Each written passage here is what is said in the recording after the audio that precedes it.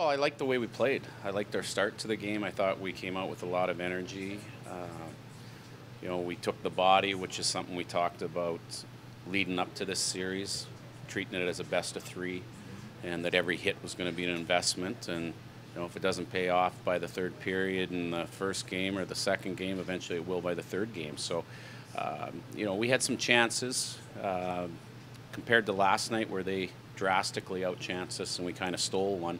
I, I, actually liked how we played tonight better than last night, but different result.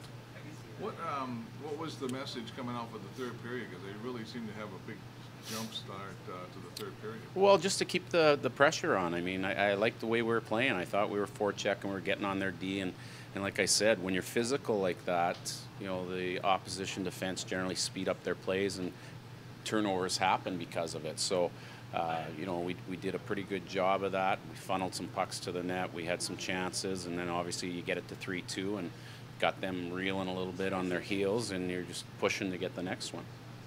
Now, when you, when you look at, uh, like, you haven't won here for uh, seven games, I think, like that, it's not like you're getting smoked either, but it just seems like uh, little nitnoy things that are, are keeping you from getting the W. What do you take as a as a, say a positive or uh, to, to, keep you keep you guys um, going, you know, as far as uh, mentally going?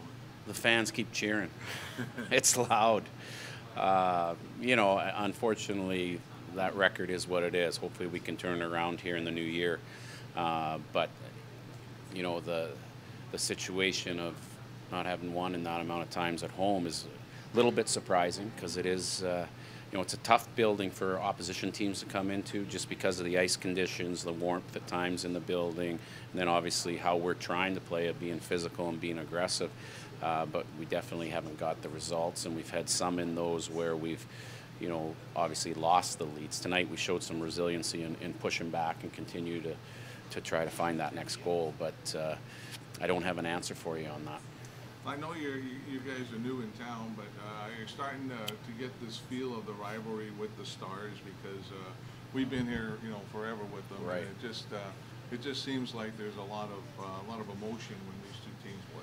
Yeah, I, I agree. I mean, you play each other in preseason. I knew that before we came, and you know, we talked about it at the start of the year of the importance of the the season series for the playoff picture because if it's one-sided or the team that wins that series probably is going to be the one that makes the playoffs from a standpoint of we're the only two teams in the division playing more games than the, the rest.